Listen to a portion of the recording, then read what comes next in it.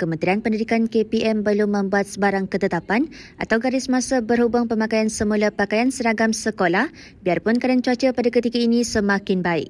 Berkaitan itu, semua pelajar dan murid sekolah di seluruh negara dibenarkan memakai pakaian sukan seperti biasa.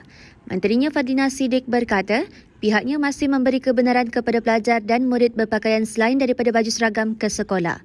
Beliau berkata demikian ketika ditanya berhubung jangkaan KPM untuk mengembalikan semula pemakaian baju seragam sekolah seperti biasa susulan kerana cuaca yang semakin baik. Terdahulu beliau ditemui selepas menghadiri program pembinaan karakter bangsa Malaysia, pelajar lepas menengah di Dewan Datuk Haji Ahmad Saleh Nibong Tebal pada Kamis. Pada 3 Mei lalu, KPM memberikan kebenaran khas kepada murid, guru dan anggota kumpulan pelaksana di semua institusi pendidikan bawah kelolaannya untuk memakai pakaian sukan semasa cuaca panas dan kering. Murid yang memakai pakaian seragam sekolah pula tidak diwajibkan memakai tali leher memandangkan kerana cuaca panas boleh mencetuskan gelombang haba yang memudaratkan kesihatan.